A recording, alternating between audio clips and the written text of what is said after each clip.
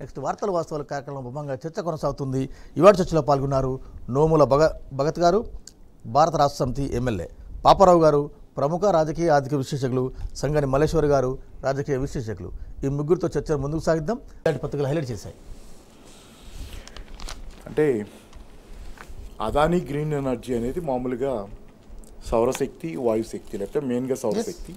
దీనిలో పెట్టుబడులు. పెట్టుబడులు పెట్టి ఆల్టర్నేటివ్ ఎనర్జీ ప్రత్యామ్నాయ ఇంధన వనరులని నిర్మించే లేకపోతే తయా- తయారు చేసే కంపెనీ. దీని ప్రాధాన్యత ఎక్కడ ఉందంటే ఉందంటే పర్యావరణ కాలుష్యాన్ని నివారించడం. ఈరోజు పర్యావరణ కాలుష్యం కానీ పర్యావరణ అంశం కానీ ప్రపంచవ్యాప్తంగా చాలా సెన్సిటివ్ కీలకమైనటువంటి అంశం. కాబట్టి ఏంటంటే అదానీ గ్రీన్ అనే సంస్థ భారతదేశంలో రెండు సంస్థలు ప్రధానంగా ఈరోజు గ్రీన్ ఎనర్జీలో పెట్టుబడులు. అందులో మేక్ ఇన్ ఇండియాలో భాగంగా సక్సెస్ అయిన ఒక్క పార్ట్ చిన్న పార్ట్ కొంత సక్సెస్ అయినట్లుగా కనపడుతుంది ఏంటంటే గ్రీన్ ఎనర్జీ భాగం. దానిలో ముఖ్యంగా పెట్టుబడులు పెట్టింది అదానీ అంబానీ. దానిలో అదానీ అంబానీ ఏమో సుమారుగా డెబ్బై ఐదు వేల కోట్ల రూపాయల దాకా పెట్టుబడులకు ప్లాన్ చేశారు. అందాని ఆ అదానీ కూడా ఆ మేరకే పెట్టుబడులు. అంటే ఈ పెట్టుబడుల కోసం ఆయన సమీకరించినటువంటి డబ్బు అదానీ గ్రీన్ కింద. ఆ డబ్బుని ఆయన అదానీ గ్రీన్కి కాకుండా ఆ డబ్బుని మళ్ళించి క్యారమైల్ కార్మికేల్ అనే కోల్ మైన్ ఉంది. వాళ్ళకి ఆస్ట్రేలియాలో. అంటే ఏంటి? కోల్ మైన్ అంటేనే కాలుష్యానికి చిహ్నం. ప్రపంచవ్యాప్తంగా చాలా సంస్థలు ఈరోజు బ్యాంకుల దగ్గర నుంచి కోల్ మైన్లకు సంబంధించి గత అనేక సంవత్సరాలుగా. అసలు అప్పులే ఇవ్వటల్లా. కోల్ మైన్ కోల్ మైనింగ్కి సంబంధించి అప్పులు ఇవ్వటల్లా. కాలుష్యకారకమైన దేన్నైనా నిరుత్సాహపరచాలి. వాటికి అప్పులు ఇవ్వకూడదు వాటికి డబ్బులు ఇవ్వకూడదు అనేది చాలా మంది లెక్క కోల్ మైన్స్ డిస్కరేజ్ చేస్తున్నారు. అట్లాంటి డిస్కరేజ్ చేస్తున్న కోల్ మైన్స్లోకి అదానీ గ్రీన్లో ఎవరు పెట్టుబడులు పెట్టినా ఎందుకు పెడుతున్నారంటే ముఖ్యంగా పాశ్చాత్య దేశాల నుంచి వచ్చే పెట్టుబడులు అది పర్యావరణ హితమైనటువంటి ఇంధన వనరు తయారీ కంపెనీ కనుక దానిలో పెట్టుబడులు పెట్టాలనేది ఒక బాధ్యతగా సామాజిక బాధ్యతగా పెట్టుబడి పెట్టేవాడు తన సొంతం చూసుకోవటమే కాకుండా సమాజం పట్ల కూడా నా బాధ్యత అని దానిలో పెట్టుబడి పెట్టారు. అట్లాంటి పెట్టుబడులను తీసుకెళ్ళి మీరు పర్యావరణ కాలుష్యానికి మీ కంపెనీ కారణమవుతున్నటువంటి మీ ఆస్ట్రేలియా కోల్మైన్లలో పెడుతున్నారనేది ఈరోజు బ్లూంబర్గ్లో వచ్చినటువంటి వార్తా కథనం తాలూకు ప్రధానమైనటువంటి సారాంశం. దానిలో ఈ కథనం రాగానే ఈ కథనానికి ముందు కానీ ఏదైనా కానీ ఆ, నార్వేలో ఒక సంస్థ ఉంది దాని పేరు కేఎల్పి అనేది. ఆ సంస్థ ఏంటంటే మన మ్యూచువల్ ఫండ్ లాంటిది. అది చాలా చోట్ల పెట్టుబడి పెట్టుద్ది తన దగ్గర డబ్బులు దాచుకున్న వాళ్ళ డబ్బులు తీసుకెళ్ళి వేరే దేశాల్లో సంస్థల్లో పెట్టుబడి పెట్టి ఆ లాభాలని ఇతరత్ర తన ఖాతాదారులకు పంచుద్ది. ఈ కంపెనీ అదాని గ్రీన్లో కూడా పెట్టుబడి పెట్టింది. ఎందుకంటే పర్యావరణం పట్ల దీనికి శ్రద్ధ ఉందనే దాని మీద అక్కడ వృద్ధుల పెన్షన్ డబ్బులు ఎక్కువ ఉంది దీనిలో. ఆ వాళ్ళ డబ్బు తెచ్చి దీనిలో ఎందుకు పెట్టిందంటే వాళ్ళు బాధ్యతాయుతమైన పెట్టుబడి కావాలనుకుంటున్నారు నా క్లయింట్లు కాబట్టి తీసుకెళ్ళి అదాని గ్రీన్లో పెడదామని చెప్పి పెడితే ఈ వార్త బయటకు వచ్చేసరికి నిన్నటికి నిన్న కానీ ఓవరాల్గా పద్దెనిమిది వందల కోట్ల రూపాయల మేరకు రూపాయల పెట్టుబడులు ఓవరాల్ పెట్టుబడులు అదాని గ్రీన్లో కానీ ఇతరత్ర అదాని కంపెనీలో కానీ పెట్టిన పెట్టుబడులు ఆ కంపెనీ మొత్తం మొత్తం వెనక్కి తీసుకుంది. రెండోది ఈరోజు ఇదొకటే కాదు కంపెనీ. యూరోప్లో ఇప్పుడు దాకా ఉన్నటువంటి వార్తలు బ్లూంబర్గ్ ప్రకారం సుమారుగా ఐదు వందల ఫండ్లు. ఇప్పుడు ఇది ఒక ఫ- ఒక్క ఫండ్ గురించే నేను చెప్పింది. నార్వే ఫండ్ వెనక్కి తీసుకుంది. ఐదు వందల ఫండ్ల పెట్టుబడులు ఈరోజు అదాని గ్రీన్లో అదాని కంపెనీలో ఉన్నాయని. వాళ్ళంతా వెనక్కి తీసుకుంటే అదాని సంస్థ పరిస్థితి ఏంటి? అది వెనక్కి అది కనుక జరిగితే కనుక భారతదేశ నేను ఇప్పుడు ఇప్పుడు దాకా కూడా సుప్రీంకోర్టులో విచారణలో ఉంది కానీ భారత ప్రభుత్వం విచారణకి ఇచ్చింది కానీ లేకపోతే సెబీ విచారిస్తుంది కానీ ఏంటంటే కేవలం షేర్ షేర్ హోల్డర్లకి ఎంత నష్టం జరుగుతుందనే విచారిస్తున్నాయి. నేను అడుగుతుంది షేర్ హోల్డర్ నష్టం ఒక భాగం దీనిలో అది పరిశీలించాల్సిందే. షేర్ హోల్డర్లు కాని వాళ్ళు మొత్తం భారతదేశ ఆర్థిక వ్యవస్థ ఎంత ఉంది? షేర్ హోల్డర్లు భారతదేశంలో సుమారుగా అయితే గీతే రీటైల్ ఇన్వెస్టర్లు పది కోట్ల మంది. పది కోట్ల మంది ఆ పైన మిగతా సంస్థాగత పెట్టుబడిదారులు ఎవరైనా ప్రపంచవ్యాప్తంగా వీళ్ళ వరకే పరిమితం అది. కానీ మిగతా నూట ముప్పై కోట్ల మందో నూట ఇరవై కోట్ల మందో భారతీయులు భారత ఆర్థిక వ్యవస్థ పరిస్థితి కూడా ఇక్కడ ప్రశ్నార్థకం మీకు కేవలం పరిమితమైన చర్చ మీరు ఎంత ఎంతకి పరిమితం అవుతుంది? షేర్ హోల్డర్లు నష్టపోయారు షేర్ హోల్డర్లు నష్టపోయారు కాదు. భారత ఆర్థిక వ్యవస్థ ఎంత నష్టపోయిందని దాని మీద కూడా ఈరోజు విచారణ జరగాలి. కేవలం షేర్ హోల్డర్లకు సంబంధించి మాత్రమే ఈరోజు సెబీ విచారించినా ప్రభుత్వ పరిధిలో ఉన్న సుప్రీంకోర్టు ప్రశ్నించిన అక్కడ దాకే ప్రశ్నించగలుగుతున్నాం కానీ మనం దాన్ని దాటి ఈరోజు అదాని అనే పిల్లర్ కనుక దెబ్బతింటే కనుక భారత ఆర్థిక వ్యవస్థకి దాని మీద నిలబెట్టినటువంటి వాళ్ళ బాధ్యత ఏంటనేది ఈరోజు ద- అదాని అంబానీ పిల్లర్ల మీద భారత ఆర్థిక వ్యవస్థ నిలబెట్టి ఆ రకంగా ప్రోత్సహిస్తా వచ్చిన వాళ్ళ బాధ్యత దీనిలో ఎంత ఉందనేది? రాజకీయ బాధ్యత కూడా ఈరోజు ప్రశ్న. మల్లేశ్వర్ గారు. రుణాల మయ రోజుకు అక్రమాలు రోజుకు అవినీతి వెలుగులోకి వస్తుంది ఆదాని తాలకు సంబంధించి. ఎందుకు కేంద్రం మౌనంగా ఉంటుంది? కేసీఆర్ లాంటి వారు కూడా పార్లమెంట్లో జేపీసీ ఎందుకు వేరు? ఎందుకు మోడీ మౌనం వీడవని ప్రశ్నిస్తున్నారు?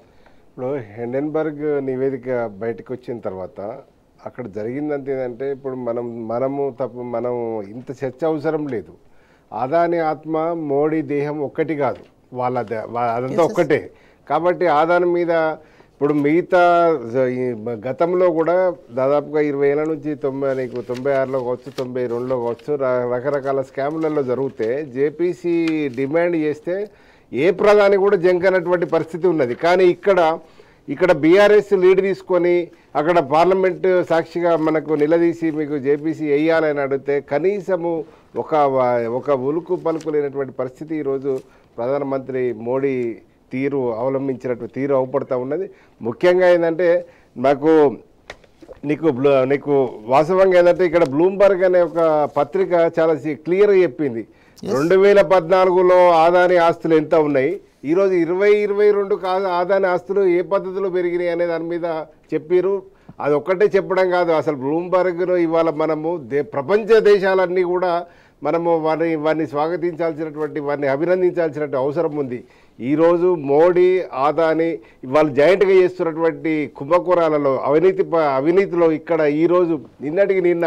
ఒక విశ్లేషణ చూడండి బ్లూంబర్గ్ ఇలా పర్యావరణ ప్రేమికులకు పర్యావరణ ప్రేమికులకు ఈరోజు ఎంత ఘోరమైనంటే వాళ్ళ నిధులు సేకరించి ఆస్ట్రేలియాలో బొగ్గు. గనులకు కేటాయించినటువంటి పరిస్థితిని వరుస కథనాలతోటి బెంబలెత్తిపోతుంది ఈరోజు బీజేపీ ప్రభుత్వము మోడీ అసలు డిఫెండ్ చేసుకోవడానికి అవకాశం లేనటువంటి పరిస్థితి ఇక్కడ ఈ బ్లూంబర్గ్ కావచ్చు తర్వాత నిన్న హెండెన్బర్గ్ ఈ మనకి నివేదిక కావచ్చు ఇవన్నీ కూడా కొంత వాళ్ళని ఇరకాటంలో పెట్టినటువంటి పరిస్థితి ఉన్నది. ఈరోజు బీఆర్ఎస్ పార్టీ లీడ్ తీసుకొని పార్లమెంట్లో గొడవ చేస్తే కనీసము మరి గత ప్రభుత్వాలు ఇటువంటి జరిగిన సందర్భాలను హర్షద్ మేతా విషయంలో కావచ్చు మిగతా చాలా కుంభకోణాలు జరిగినాయి. జేపీసీకి ఆహ్వానించారు జేపీసీని దాన్ని చేసిరు కానీ ఆదాని కాడికి వచ్చేసరికి ఏంటంటే నాకేడ ఉచ్చు బిగిస్తారో అన్న భయంతోటి ఈరోజు కమిటీ వేయడానికి కూడా ఇది చేస్తలేరు. తర్వాత అక్కడ జరిగినటువంటి సందర్భం కూడా ఇంకా చూడండి. ఇప్పుడు స్వీడన్లో ఒక అధునాతనమైనటువంటి నీకు ఆయుధాలు మనకు జట్టుకు సంబంధించినటువంటి పరికరాలకు సంబంధించిన వాళ్ళు కూడా అగ్రిమెంట్ అంటే వీళ్ళకు ఎంఓఈ ఉన్నప్పటికీ కూడా నెక్స్ట్ మేము ఎంఓఈ చేసుకోకూడదు Right, అనే. దాని మీద కూడా డ్రాప్ అయినటువంటి సందర్భం చూడాలి. ఇది కేవలం హర్షద్ మెహతాతో కూడా పోల్చేది కాదు ఇంకా. ఎందుకంటే ఒకప్పుడు డిమానిటైజేషన్ జరిగినప్పుడు ఫోర్బ్స్ పత్రిక ఎవరో అనుకుంటే వాళ్ళు ఆరోపించారు. Biggest money laundering scheme in the world ఇది. పెద్ద మనీ లాండరింగ్. అంటే నల్ల డబ్బును తెల్ల డబ్బు చేసింది మోడీ గారి పని అని చెప్పి. దాని అంత పెద్ద ఆరోపణ. ఈ రోజు మళ్ళీ మోడీ గారు ఇన్వాల్వ్ అయి ఉన్నారన్న ఆరోపణ వస్తున్నటువంటి అదాని కంపెనీ. అంటే ఏంటి ప్రభుత్వం హర్షద్ మెహతాలో ప్రభుత్వంలో వాళ్ళు పెద్ద పెద్ద వాళ్ళు తలలు ఉన్నారని మనం వినలా. వాడు స్కామ్ చేశాడు అది. పోయింది అంతవరకు. ఇక్కడ ఆరోపణ ఆరోపణలు ఎక్కడికి వస్తున్నాయి? టాప్ మ్యాన్ దగ్గరికి వెళ్తున్నప్పుడు ప్రశ్నలు ఇంకా పెద్దయి మనకి. ఎస్ ఎమ్మెల్యే గారు మొదటి నుంచి భారత రాష్ట్ర సమితి ఎంపీలు ఎమ్మెల్యేలు పార్టీ గా కూడా మొత్తం పెద్ద ఎత్తున అదాని అక్రమాల మీద పెద్ద ఎత్తున స్పందిస్తుంది. ఎందుకు మోడీ మౌనం వీడడం లేదు? ఎందుకు బీజేపీ నేతలు ఇంకా అదాని దాచే ప్రయత్నం చేస్తున్నారంటే ఏం చెప్తారు? ఖచ్చితంగా అండి. ఏదైతే మొన్న మేము ఏదైతే అసెంబ్లీలో కూడా అసెంబ్లీ సాక్షిగా గౌరవనీయ ముఖ్యమంత్రి కేసీఆర్ గారు కూడా ఖచ్చితంగా ఏదైతే భారతదేశంలో ఉన్నటువంటి పౌరులకు సంబంధించినటువంటి ప్రతి ఒక్క సంపదను కూడా ఈరోజు ఇటు ఎల్ఐసి సంస్థలో కావచ్చు ఎస్బీఐ బ్యాంకులలో కావచ్చు ఏదో రూపంలో ప్రతి ఒక్కరు వాళ్ళ సంపద ఉంది. వాళ్ళ ఎంతో వేల కోట్ల పెట్టుబడులన్నీ కూడా ఈరోజు ధారాదత్తంగా ఈరోజు ఏదైతే అదాని గ్రూప్ సంబంధించినటువంటి సంస్థలలో ఉన్నాయో ఈరోజు హిడన్బర్గ్ హిండ హిండన్బర్గ్ కావచ్చు లేదా నిన్నటి నిన్న వచ్చినటువంటి బ్లూబర్గ్ బ్లూంబర్గ్ కావచ్చు ఈ రెండు సంస్థలు ఏదైతే వా అదాని సంస్థల మీద ఏదైతే ఆరోపణలు చేస్తున్నాయో ఈ ఆరోపణలని అవి నిజమా లేదా అబద్ధమా అనేది తేల్చాల్సింది మాత్రం ఖచ్చితంగా కేంద్ర ప్రభుత్వం ఒక నిర్ణయం తీసుకొని వాళ్ళ మీద ఉంటుంది కదా. వాళ్ళ బాధ్యత ఉంటుంది ఆ బాధ్యత తెలిసినట్టయితేనే ఈ ఈరోజు మళ్ళీ ఎస్బీఐ ఎల్ఐసి అనేది నిజంగా ఈ రాష్ట్ర జనాభా దేశంలో కూడా ప్రతి ఒక్కరిని ఆదుకుంటున్న సంస్థలే అట్లాంటి సంస్థల్లో పెట్టుబడులు పెట్టిన వాళ్ళందరూ ఈరోజు భయాందోళనలకు గురవుతుంటే కనీసం గింత కూడా చెల్లించకుండా ఈరోజు అదాని మీద ఒక రివ్యూ వేసి ఈ రివ్యూ వేయకపోగా వాళ్ళు చాటుమాటున వాళ్ళు చేసే ప్రయత్నం ఏంటంటే వేరే వాళ్ళ ద్వారా. లైక్ ఇంకో బ్యాంక్ ఆఫ్ బరోడా వాళ్ళతోటి కావచ్చు ఇంకా వేరే వాళ్ళతో కావచ్చు మా మీద ఇట్లాంటి ఎన్నో జరిగినాయి. లేకపోతే మేము ఇంకా ఇస్తామని వేరే వాళ్ళతో ప్రకటన ఇప్పించడం ఏదో ఒకటి చేసి దీన్ని దాచిపుచ్చే ప్రయత్నం చేస్తారు కానీ ఇన్ని ఆరోపణలు వస్తుంటాయి. నిజంగా అంత నిజాయితీ ఉంది మోడీ గారికి. అమ్మ చూసే జనాలందరూ. చూసే జనాలందరూ కూడా చుట్టుపక్కల రాజకీయ నాయకుల మీద ఈడి దాడులు ఐటీ దా ఐటీ దాడులు చేస్తుంటే కొంతమంది ఎంతో కొంతమంది ఉన్నారు. అయ్యో మా బీజేపీ నిజంగానే చేస్తుంది నిజంగానే కా వీళ్ళేదో అన్యాయం చేశారు కాబట్టి ఈడి దాడులు అయితే అనేటోళ్ళు ఆ పది పర్సెంట్ ఎవరైతే ఉన్నారో వాళ్ళు ఇదే క్వశ్చన్ ఏదైతే ఇప్పుడు విదేశాలకు సంబంధించినటువంటి ప్రాముఖ్యమైన పత్రికలు ఏదైతే హిడెన్బర్గ్ కావచ్చు రీసెర్చ్ పత్రికలు కావచ్చు బ్లూంబర్గ్ పత్రికలు కావచ్చు ఇవన్నీ కూడా వేసే కథనాలను పట్టుకొని ఎందుకు ఆయన మీద ఒక ఏదో ఒక సంస్థ పెట్టేసి వారి మీద చర్య తీసుకోవట్లేరు? దాని మీద కంప్లీట్గా ఆరోపణలు నిరాధారణ చేసే విధంగా ఒక కమిటీ వేయట్లేరు అనేది మాత్రం ఖచ్చితంగా అందరూ చర్చుకుంటూ చర్చించుకుంటున్నారు. ఇది ఖచ్చితంగా బీజేపీ కావాలని చేస్తుంది. కేంద్ర ప్రభుత్వం దీంట్లో కావాలని ఇన్వాల్వ్ అయింది ఒక మనిషిని కాపాడడం కోసం ఈరోజు దేశ ప్రజలు ఏదైతే సంపద వాళ్ళందరూ కూడా నమ్ముకొని బ్యాంకులలో పెట్టిరో ఆ పెట్టుబడులు ఉన్న షేర్లన్నీ ఈ కంపెనీలు ఉన్నాయి. ఈరోజు మీరు చూసుకున్నట్టయితే కాదండి ఇవాళ ఆదాయ అక్రమాలు రోజుకొక అంశం. రోజు మొన్న మొన్న బయ్యారం విషయం కూడా వెలుగులోకి వచ్చింది. రోజుకొకటి వెలుగులోకి వస్తే ఇవాళ బీజేపీ నేతలు ఏమంటున్నారండి? భారతదేశంపై ఆర్థిక దాడి అట. నిజంగా అండి ఇది జనాలు గమనిస్తున్నారు.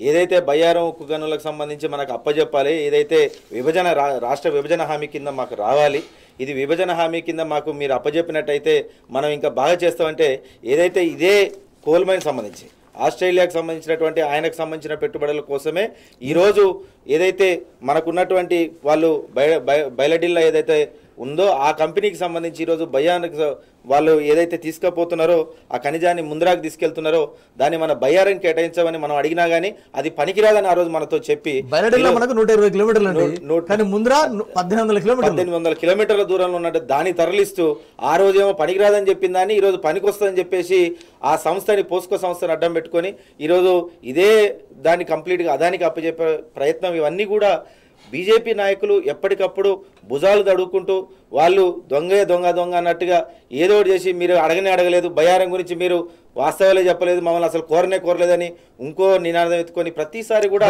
జనాలని తప్పుదోవ పట్టించే ప్రయత్నం తప్ప ఎక్కడ కూడా జనాలని ఖచ్చితంగా వాళ్ళని కాపాడాలి వాళ్ళ ఆస్తిపాస్తులను కాపాడాలి రాష్ట్ర సంపదను కాపాడాలి దేశ సంపదను కాపాడాలన్న ఆలోచన మాత్రం కేంద్ర ప్రభుత్వం లేదని ఒక. ప్రాంత ఆకాంక్షలను ఒక ప్రాంత ఆశయాలను అదాని కోసం బలిపెట్టారండి అయ్య బయ్యారం. తెలంగాణ ఉద్యమం కంటే ముందు బయ్యారం ఉద్యమం మొదలైంది. అంటే ఇక్కడ ఇదే ఇది సరే ఇది ఇది వాళ్ళు చేసిన వాటిల్లో చాలా చిన్న వాటిల్లో ఇది ఒకటి. అవును. చాలా చిన్న వాటిలో ఇది ఒకటి. అయితే ఇక్కడ ఏంటంటే ఓవరాల్గా నోరు మూయించే ప్రయత్నాలు దేశంలో. ఇన్నాళ్ళు ఎలా నడిచినాయి అంటే నాకు తెలిసి అయితే తక్కువ రూట్ అనుకుంటా. ఆయన పేరు ఒక అతను అరవై ఏడేళ్ళు అప్పుడు ఆ రిపోర్ట్ అరవై ఏడేళ్ళ వయసు ఆయన ఇండిపెండెంట్ జర్నలిస్టు. అదానీ కంపెనీల మీద ఆయన సిరీస్ ఆఫ్ ఆర్టికల్స్ రాస్తే ఆయన మీద ఒక ఆరు కేసులు డిఫమేషన్ కేసులు మామూలు నెట్లో దొరుకుతుంది. ఆరు డిఫమేషన్ కేసులు క్రిమినల్ డిఫమేషన్ వాటిలో మూడు కేసులు. ఆరు కోర్టుల్లో కేసులు వేస్తే కోర్టుల చుట్టూ తిరుగుతున్నాను అని చెప్పి ఆయన చెప్పుకున్నాడు ఇప్పటికీ కోర్టుల చుట్టూ తిరుగుతున్నాను. నా టైం అంతా దీనికి అయిపోతుంది. డబ్బులు ఖర్చు. పెట్టుకోండి. ఇది అంటే నోరు మూయించే పద్ధతి. గ్యాగ్ ఆర్డర్ వచ్చింది ఆయన మీద. అంటే నువ్వు ఇంకంతకంటే ఎక్కువ మాట్లాడద్దు అదాని కంపెనీల గురించి కామ్గా ఉండాలి ఎందుకంటే కోర్టు మరి మరి కేసు వేసినప్పుడు మరి ఆ కోర్టు కేసు తేలిందాక అతను మాట్లాడకూడదు కదా. కోర్టు తప్పేం లేదు. గ్యాగ్ ఆర్డర్ అతను నోరు మూయించారు. రెండోది సిఎన్బిసి రిపోర్టర్లు టీవీ ఎయిటీన్ ఇద్దరు. వాళ్ళిద్దరి మీద కూడా ఇట్లాగే కేసులు వేశారనేది రిఫర్మేషన్ కేసులు. ఆస్ట్రేలియాకి సంబంధించిన ఎవరి మీద వేశారని. ఇట్లా ఓవరాల్గా కేసులు వేస్తే నోరు మూయించే పద్ధతి ఇదని చెప్పి. మామూలు నెట్లో దొరుకుతాయి. నో అదాని కంపెనీలు ఎవరు తన గురించి మాట్లాడకుండా నోరు మూయించే పద్ధతి. ఇంకా అది ఇది కుదరకపోతే ప్రభుత్వంలో వాళ్ళు వచ్చి బెదిరించే పద్ధతులు కూడా కొన్నిసార్లు కనపడుతున్నటువంటి వాతావరణం ఉంది. ఓవరాల్ ఏంటంటే ఇక్కడ నేను చెప్పేది ఒకటే. ఇప్పుడు మీకు కనపడుతుంది ఇప్పుడు ఎంత సంకుచితమైన అంటే పిల్లి కళ్ళు మూసుకొని పాలు తాగుతా ఎవరు చూడటం లేదనుకుంటా. భారతదేశంలో అందరినీ బెదిరించి నోరు మూయించేస్తే ఆ, తిమ్మిని బొమ్మిని చేసి బొకాయించి జనం ఏదో నమ్ముతున్నారు కాబట్టి నేను వీళ్ళందరినీ రాజకీయాల్లో మాట్లాడే వాళ్ళందరినీ నిజాలు మాట్లాడే జర్నలిస్టులందరినీ కూడా నోరు మూయించవచ్చు అనుకుంటే బయట నుంచి వచ్చింది ఈరోజు హిండెన్బర్గ్. బయట నుంచి వచ్చింది? ఇప్పుడు హిండెన్బర్గ్ అనేవాడు బ్లాక్ మెయిలర్ నిజమే నేను కూడా కాదన్ను. నాకు తెలుసు బ్లాక్ మెయిలర్ వాడు. షార్ట్ సెల్లర్ ఎవరైనా అంతే. ప్రపంచంలో చాలా మంది ఉన్నారు ఇలాంటి వాళ్ళు. హిండెన్బర్గ్ లాంటి వాళ్ళు వాళ్ళు బ్లాక్ మెయిలర్ కానీ మన బంగారం మంచిదైతే వాడేం చేయగలిగేవాడు. మన బంగారం మంచిది కాబట్టే కదా కాకపోతే ఈ ప్రాబ్లం అనేది ఈ ప్రశ్న అనేది ఇక్కడ కనపడుతుంది. ఎందుకంటే నువ్వు తప్పు చేయకపోతే నేను ఎలా ప్రశ్నించగలడు అనేది కూడా మనం ఆలోచించాలి. వాడు నీ దగ్గర బ్లాక్ మెయిలింగ్ ద్వారా ఏమైనా పొందాలనుకున్నాడో లేకపోతే ఈ బ్లాక్ మెయిలింగ్ ద్వారా షేర్ల విలువ పడగొట్టి దానిలో ఏమో లాభాలు పొందాలనుకున్నాడో అదో ప్రశ్న. దాని గురించి వేరే చేద్దాం. దాని గురించి ఖచ్చితంగా చేద్దాం. దాన్ని మన అందరం ఖండిద్దాం. కానీ దాని ద్వా- నీ బ్లాక్ మెయిలింగ్ దేని గురించి చేస్తున్నాడు అదానీ కంపెనీల గురించి దానివల్ల దీనిలో ఉంటే మా అందరికీ నష్టం. హిండెన్బర్గ్ బ్లాక్ మెయిల్ చేస్తే అదానికి నష్టం. నీ దగ్గర లోపాలు ఉంటే అదాని దగ్గర లోపాలు ఉంటే ఈ దేశానికి నష్టం. కాబట్టి మా సమస్య నీ గురించి కూడా. హిండెన్బర్గ్ అనే మోసగాడు ఇట్లాంటి వాడు చాలా మంది ఉన్నారు వాళ్ళ గురించి ఆలోచిద్దాం. కానీ ప్రపంచంలో ఎక్కడ చాలా చోట్ల చాలా దేశాల్లో షార్ట్ సెల్లింగ్ హిండెన్బర్గ్ లాంటి కంపెనీలు చేసేది నేరం కాదు. ఎందుకంటే వాళ్ళు ఆ, చెత్త కాకులు క్లీన్ పర్యావరణ హితం అంటారు. ఎందుకంటే చెత్త చెదారం తినేసి ఏరేస్తాయి. అట్లాగే హిండెన్బర్గ్ లాంటి కంపెనీలు షేర్ మార్కెట్లో ఇట్లాంటివి అని. ఏంటంటే చెత్త ఏరే కంపెనీలు. షేర్ మార్కెట్లో చేరిన చెత్త మీద అవి బతుకుతాయి కాబట్టి ఆ చెత్త తిని షేర్ మార్కెట్ని క్లీన్ చేసి షేర్ మార్కెట్లో కనీసం కొన్ని రూల్స్ వర్తించేటట్టు చేసే కంపెనీలు హిండెన్బర్గ్ లాంటి దేశం పుట్టి మునుగుతున్న దేశమంతా కూడా ఆందోళన వ్యక్తం చేస్తున్న ప్రపంచ దేశాలు స్పందిస్తున్నా మోడీ ఎందుకు మౌనం వీరడం లేదు? ఇవాళ భారత్ పై చైనా నిఘా బెలుగునట. నిఘా అంటే చైనా నిఘా ఉన్నప్పుడు కూడా మోడీ ఇంతవరకు నోరు మెదపలే ఇట్లా చాలా ఉన్నాయండి. మీరు భారతదేశంలో మొత్తంలో కూడా ఈరోజు జరుగుతున్నటువంటి ప్రతి ఒక్క పరిణామక్రమం ఈరోజు చైనా నిఘా చేస్తున్న దాని మీద ఏదైతే కేవలం వాళ్ళ అస్తిత్వం మొత్తం కూడా మేము భారతదేశాన్ని మిగతా దేశాల నుంచి కాపాడుతున్నాం అనే ఒక్క అంశం పెట్టుకొని ఈరోజు రాజ్యాధికారం సంపాదించిన తర్వాత ఇట్లాంటి దాని ఏదైతే చైనా నిఘా బెలూన్ అనేది ఏదైతే వస్తున్నదో పత్రిక మనకు వస్తున్నదో దాని మీద స్పందించకపోవడం చాలా తప్పు. దీంతో పాటు మనం చూసుకున్నట్టయితే ఇందాక నేను చూసుకున్నట్టయితే ఈయన ఎప్పటికప్పుడు ఎప్పటి ఎప్పుడు మీడియా సమావేశం ముందు పెట్టాడు మీడియా ముందుకు రాడు దీని గురించి మాట్లాడు మన్ కీ బాత్ అనేది పేరు పెట్టుకునేసి ఆ మన్ కీ బాత్లో ఏకీ ఏ రోజు. కూడా. కనీసం ఆయనకు సంబంధించి ఇట్లాంటి వాటికి సంబంధించి కూడా ఎట్లాంటి సమస్యలు కూడా నివృత్తి చేయకుండా జనాలకున్న ఆలోచనలు కావచ్చు వాళ్ళు ఏదైతే ఇప్పుడు ఇట్లాంటి పత్రికలు ఏదైతే రాస్తున్నారో నిజంగా వాళ్ళు తప్పు రాస్తున్నారో అని అనుకుందాం మరి ఆ రకంగా నివృత్తి చేసే ఆ బాధ్యత కూడా మీపైయే ఉంది కదా అన్న సంగతి వాళ్ళు మర్చిపోయి ఈరోజు కేంద్రం ఏదైతే అడ్డగోలుగా ప్రతి ఒక్క సంస్థకు సంబంధించిన పెట్టుబడులు అన్నీ కూడా ప్రతి ఒక్క సంస్థని బెదిరించి ప్రతి ఒక్కడు ఏదైతే అదానికి ఇస్తున్నారో అట్లాంటి అదానినే ఈరోజు కంప్లీట్గా తప్పుదో పట్టిస్తున్నాడు రాష్ట్ర సంపద దేశ సంపదని మొత్తం కూడా ఇచ్చేస్తున్న ఏదైతే హిడెన్బర్గ్ కావచ్చు మిగతా పత్రికలు ఏదైతే. రాయబోతున్నాయో దీని మీద ఖచ్చితంగా చర్య తీసుకోవాల్సిన అవసరం కూడా మన మీరు. పత్రికా స్వేచ్ఛ ఈ దేశంలో ఎంత ఘోరం అయిపోయిందంటే ఇక మనం చెప్పడం లేదు. నూట ఎనభై నూట ఎనభై దేశాల్లో ఒక- సర్వే చేస్తే మన ర్యాంకు నూట నలభై ఏడు. అంటే భారత్లో ఉన్న మీడియా సంస్థలన్నింటినీ బెదిరించడం జర్నలిస్టులను కేసులో పాలు చేయడం. ఇప్పుడు మన భావ ప్రకటన స్వేచ్ఛకు భంగం కలిగించిన నంబర్ వన్ మా మొగోడు ఎవరైనా ఉన్నారంటే మోడీ. మోడీ. ఎందుకంటే చాలా మందిని పుట్టన పెట్టుకున్నాడు.